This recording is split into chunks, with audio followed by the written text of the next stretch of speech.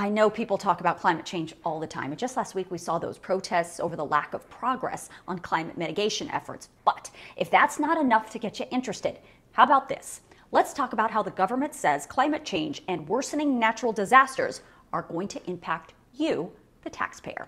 For the first time ever, the Office of Management and Budget put out this 120 page document, which lays out in great detail the financial impact climate change could have on the federal budget aka the taxpayers. So you're going to probably want to pay attention to this. The report really outlines four main risk factors wildland fire suppression, coastal disasters, crop insurance, which subsidizes farmers when their crops are impacted by natural disasters, and health impacts from heat, like poor air quality, food safety, and vector borne illnesses. It lays out how those costs will change if politicians do a little climate mitigation, a medium amount of climate mitigation, or if they do nothing at all.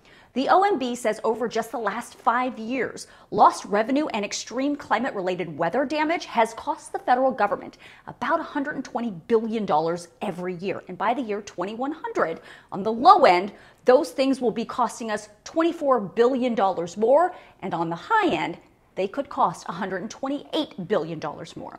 The biggest driver, hurricane damage, accounting for a projected $94 billion more a year. And on top of all that, the OMB estimates if action isn't taken now, by the end of the century, the U.S. gross domestic product could also be slashed by as much as 10%, which then translates into federal revenue losses of about $2 trillion a year in today's dollars.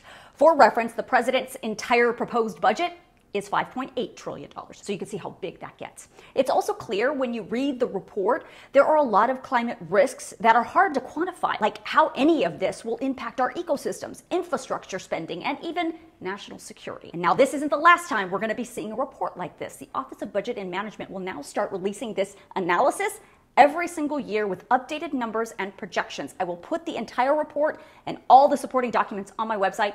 It's definitely worth a read.